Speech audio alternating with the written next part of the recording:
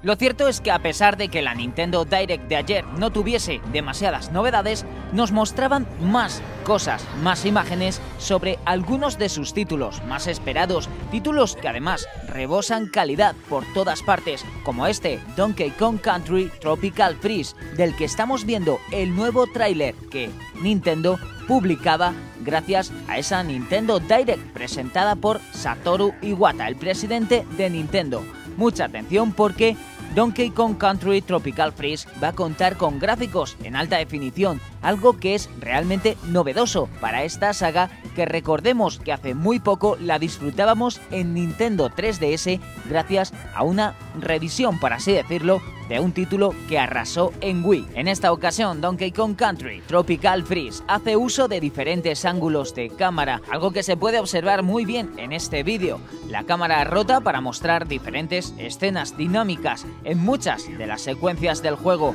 El título recuerdo que es totalmente exclusivo para Wii U y lo más importante que se anunciaba ayer durante esa Nintendo Direct era la fecha final de lanzamiento de este Donkey Kong Country Tropical Freeze y es que los usuarios de Nintendo podrán disfrutar de este juegazo de plataformas el próximo día 21 de febrero. Lo cierto es que Super Mario 3D World ha puesto el listón muy alto durante estas navidades. ¿Será capaz el señor Donkey Kong de superar a nuestro amigo bigotudo? En cualquier caso, como podéis observar, esto tiene una pinta